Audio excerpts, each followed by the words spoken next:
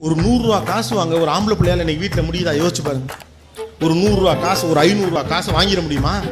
ஐநூறுரூவா காசு வாங்குறதுக்கு அடுப்படியில் போய் ரெண்டு நாளைக்கு அம்மா முந்தானே பிடிச்சி நிற்க அம்மா ஐநூறுரூவா பணம் வேணுமா? இரு அப்பா நல்ல மூடாக இருக்கப்ப நான் உனக்கு பார்த்து வாங்கி தரேன் அப்படிம்பாங்க. அந்த நல்ல முள்ளே இருக்க மாட்டார். வீட்டுக்கு வரதுனே ஆம்பளைங்க ஒரு மூஞ்சி வச்சிருப்பாங்க.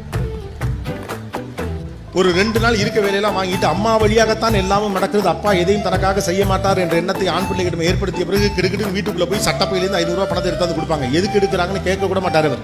கேட்டால் பிரச்சனை அவர் எதுக்குன்னு பேசாமல் இருப்பார். அதே வீட்டில் பொம்பளை பிள்ளை ஒன்று இருக்கு தங்கச்சி. டூருக்கு போகிறதுக்கு மூவாயிரம் ரூபா பணம் வேணும். அந்த பிள்ளைகிட்ட இந்த கேம் ஆடி பாருங்க. அப்பா நல்ல மூடில் இருக்கப்ப நான் உனக்கு வாங்கி தரேன்னு சொல்லி பாருங்களேன் யாராவது அம்மா. பாயிண்ட் நம்பர் ஒன்று முதல்ல அது உங்ககிட்டே கேட்காது. அது உங்ககிட்டே வராது. அப்படி மீறி உங்ககிட்ட வந்தோம். நீங்க பாரு இப்போ போய் அப்பாட்ட கேட்காத அப்பா கெட்ட மூடா இருக்கிறார். அப்பா நல்ல மூடில் இருக்கப்ப உனக்கு நான் பார்த்து வாங்கி தரேன்னு சொன்ன மறு நிமிஷம் பட்டக்குன்னு அப்பா ரூம் திறக்கும். என்னப்பா மூட விட்டா இருக்கேம்ல என்னாச்சுப்பா? அப்படிம்பார் டப்புனு போய் மடியில் உட்காந்து ஏன்ப்பா என்னாச்சுப்பா உனக்கு? அப்படின்னா அதெல்லாம் ஒன்றும் இல்லையம்மா அப்போ நான் டூர் போகிறேன்ப்பா எனக்கு த்ரீ தௌசண்ட் ருபீஸ் வேணும்ப்பா அப்படிங்க உள்ள ஒருத்தன் ஐநூறுரூவாய்க்கு மூணு நாளாக வெங்காயம் உரிச்சுக்கிட்டு இருக்கான். படக்குன்னு ஒரு மூவாயிரத்தி ரூபாய் காசு கொடுத்து ஐநூறுரூவாய் தனியாக வச்சுக்க முந்நூறுரூவாய் மட்டும் அஃபிஷியலாக வச்சுக்கன்னு சொல்லிட்டு உடனே கொடுத்து உடனே சாங்ஷன் ஆகுது. எது?